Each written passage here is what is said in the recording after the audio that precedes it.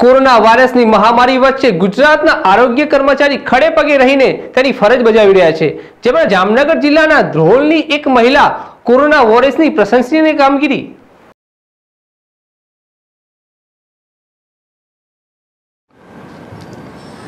સમગ્ર વિશ્વ corona virus જેવી મહામારી સામે સંઘર્ષ કરી રહ્યું છે.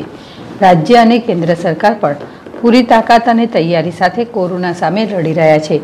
હાલમાં પ્રવર્તમાન કોરોના વાયરસથી મહામારી ખરા અર્થમાં કોરોના વોરિયર્સ તરીકે ધ્રોળ તાલુકાના જાયવા પીએચસીના સબ સેન્ટર ખાતે સીએચઓ તરીકે ફરજ બજાવતા કલાવતીબેન ફ્રેન્કભાઈ ખ્રિસ્તી પોતાની આઠ મહિનાની દીકરીને લઈને ધૂમધકતા તાપમાં રાજકોટ પડધરી હાઈવે પર દેડકદર ચેકપોસ્ટ પર ફરજ બજાવી રહ્યા છે. તેઓ ચેકપોસ્ટ પર પોતાના પતિને પણ સાથે લઈ જાય છે. ડ્રાયફ્રૂટની અછર હોવા છતાં પતિ બાળકીને સાચવે છે અને કલાવતીબેન કોરોના વોરિયર્સ તરીકે પોતાની ફરજ બજાવે છે. કલાવતીબેનને સમયાંતર મુજબ અલગ અલગ ત્રણ ટાઈમમાં ફરજ આવે છે.